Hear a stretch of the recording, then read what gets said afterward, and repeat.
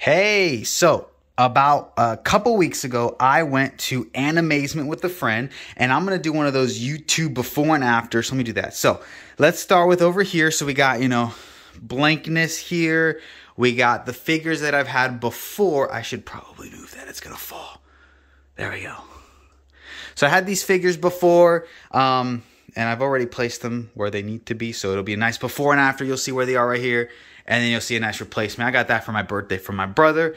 Uh, but as you can see, my room is uh, pretty empty. Everything is very empty, except for that. That, that kind of has some stuff there. But for the most part, everything is extremely empty. So now I'm going to do one of those YouTube before and afters where I put my hand like this. I'm going to do a three, two, one. Yo, look at this. Look at my room. Look at it. That's amazing. Let's start over here first so we can see we got my figures. Nice, nice and collected, nice and organized. And then let's look. Oh my shit! Dude, look at it! Look at it! It's so good!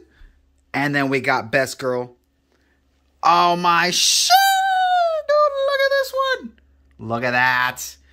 That's the best one. Best one of them all.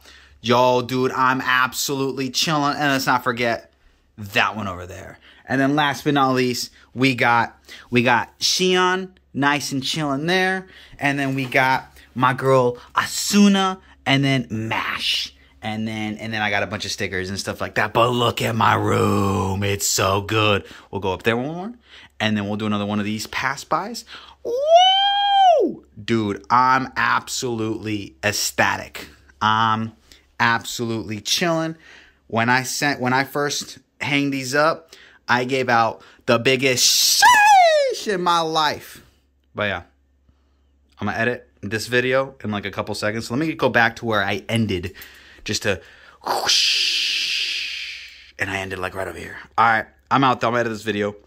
Peace.